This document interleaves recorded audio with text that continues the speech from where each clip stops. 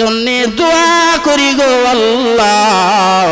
ওই নেককার বান্দাকে তুমি জান্নাতি বানায়া দাও। আরও জোরে বলেন সুবাহান আল্লাহ হে, আমি কি কবরস্থানে ওয়াজ করতেছি না জিন্দার সামনে? কি বলেন? তাহলে সুবাহান আল্লাহ টিকবে টিক জুড়ে বলতে হবে। কি বলেন, ঠিক কিনা? আমার বাইরা শুধু জমিন নয় নেককার বান্দা যখন পৃথিবীর জমিন থেকে বিদায় হয়ে যাবে, আল্লাহর তৈরি আসমানু মহান আল্লাহর দরবারে কান্না কাটি আরম্ভ করে দেয়। জোরে জোরে কন্যা সুবাহান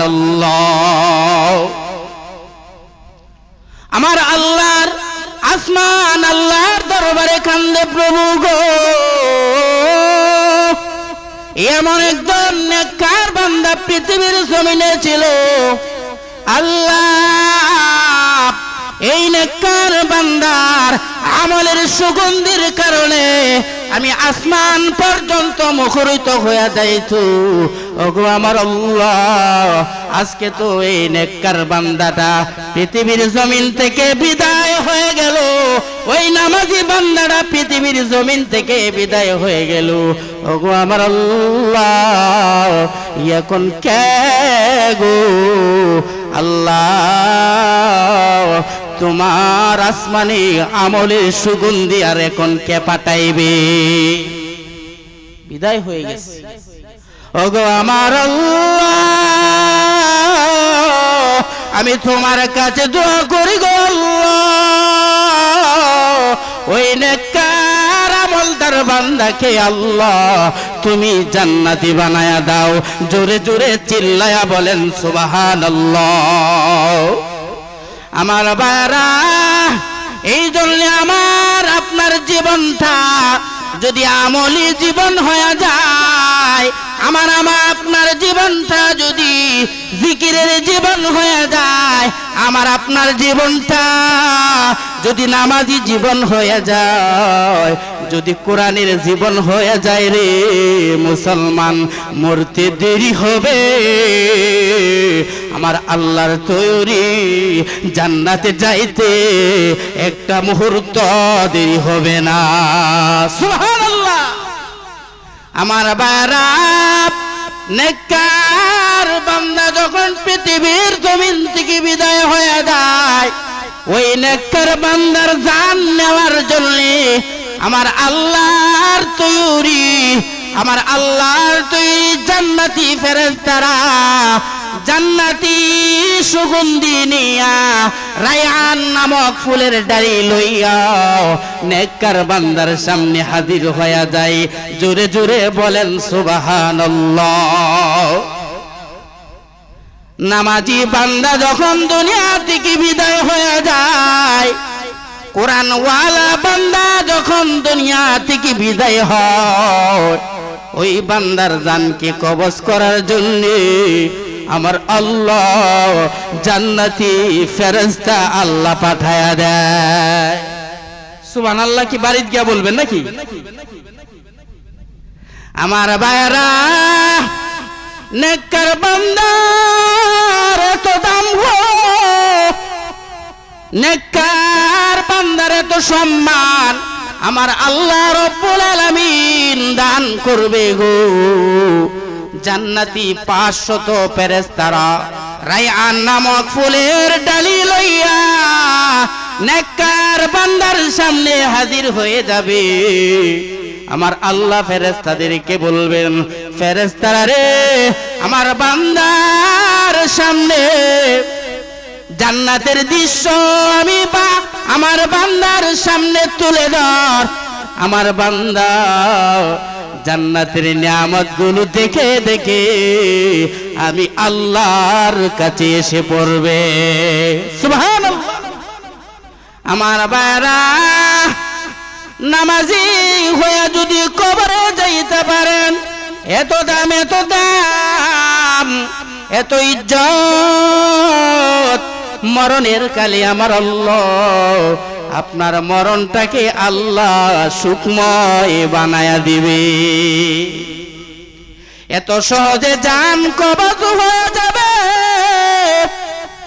একটা শিশু যখন মায়ের কুলে দুধ খাইতে খাইতে যেমন ভাবে ঘুমায়া যায়, নেককার বান্দার জানটাও এমন সহজে কবুল হয়ে যাবে।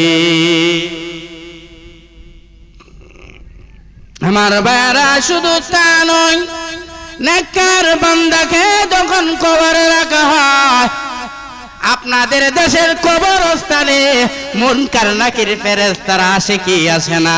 আরও জুড়ে বলেন, আসে কি, আসে না? নেককার বান্দাকে যখন কবরে রাখা হবে, তিনটা প্রশ্ন করা হবে, মার রব্বুকা ওয়া মা দীনুকা ওয়া মান নাবিয়ুকা তিনটা প্রশ্ন করার জন্য যখন ফেরেশতারা যাবে গো, আমার আল্লাহ আসমান থেকে ঘোষণা দিয়া দিবেন আরে আমার ফেরেশতারা ফেরেশতারা রে, ওই বান্দাকে প্রশ্ন করতে হবে না রে।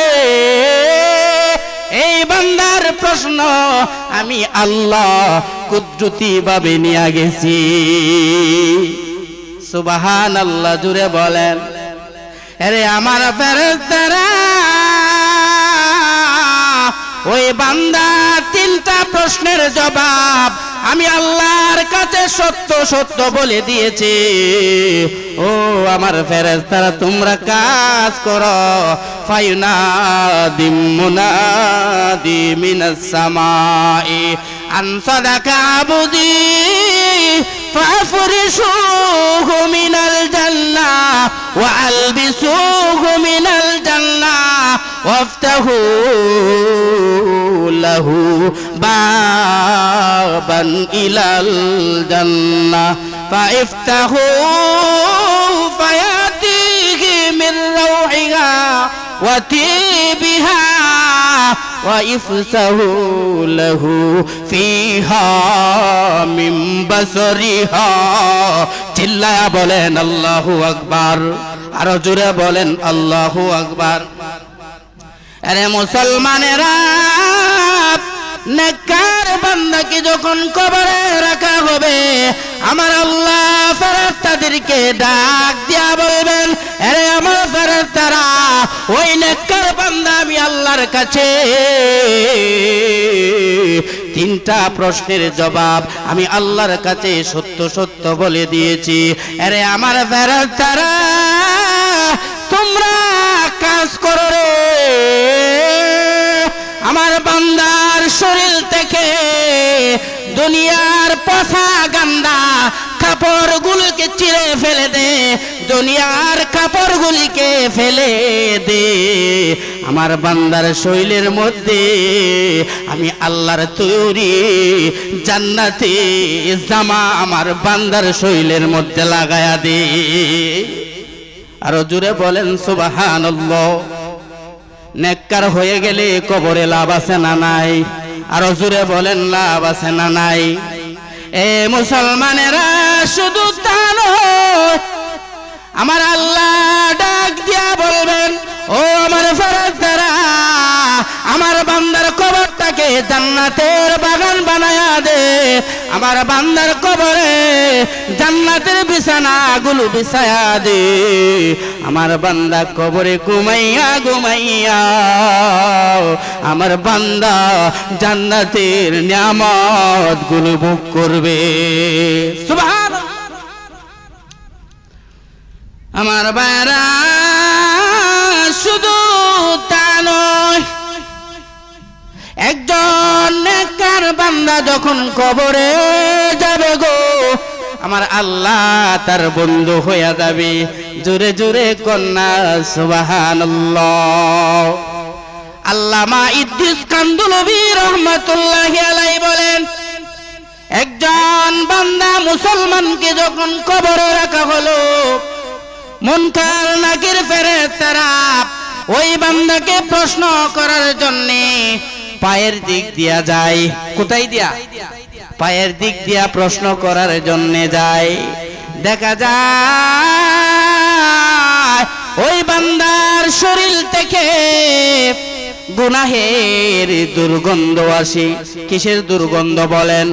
গুনাহের দুর্গন্ধ কবর থেকে আসে।